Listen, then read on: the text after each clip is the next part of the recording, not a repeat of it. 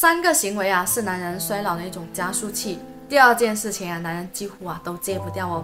行为一呢，就是过度熬夜。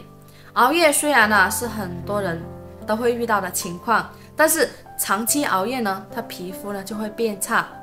肝脏啊原本需要在晚上休息，但是熬夜就等于肝脏加班，长期下去的话，这个帮助身体排毒的一种器官呢就会不堪重负。脸上暗沉、长斑、皱纹，它就会出现了，衰老也就会不期而遇。行为二呢，就是过度的抽烟。抽烟的危害我们就不用一一的细说了，这里重点呢就要提出，抽烟呢会让血管呢变得细、变得窄。我们身体啊是需要通过血液来输送氧气和营养物质的，如果这一个输送渠道呢出现了一个问题，那么细胞的缺氧。我们的一种身体就容易疲劳，细胞呢就会加快的衰老，那么皮肤也会变得暗沉，这毕竟啊是皮肤的一种衰老。香烟里面的一种焦油、尼古丁等等都是有害的物质的，对肝脏和脑细胞都是伤害的，加快衰老是必然的。行为三就是精神压力过大，确实男人的压力啊是很大的。长期处于一种精神压力过大的一种状态的话，自己的心情也会变得特别的差。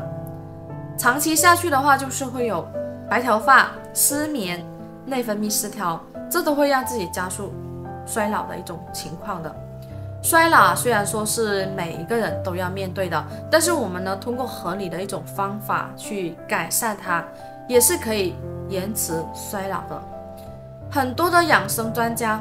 美容达人或者是明星都有提过，如果想要延迟衰老，那么就要养成良好的一种生活习惯。像延迟衰老有哪些建议呢？建议一就是经常的运动，一周啊两次左右，每次呢半小时以上的运动，对身体都是有很大的一个帮助的。如果自己体重过大的话，建议呢可以先从走路开始。经常走路呢，就可以改善身体的健康，延缓了一个衰老。